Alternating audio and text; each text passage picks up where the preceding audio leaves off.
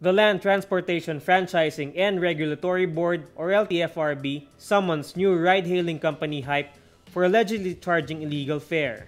In an order, LTFRB asks Hype to explain why it charged 2 pesos per minute of travel without authority from the board. LTFRB says it is acting on a report of a concerned citizen.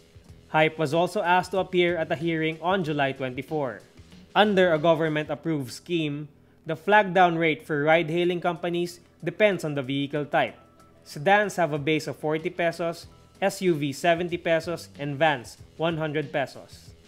There is an additional charge of 14 pesos per kilometer, but with a surge cap at times 2 the charge.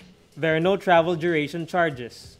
Hype, along with Owto, are the new ride-sharing firms operating in the Philippines after Grab bought the Southeast Asia operations of Uber.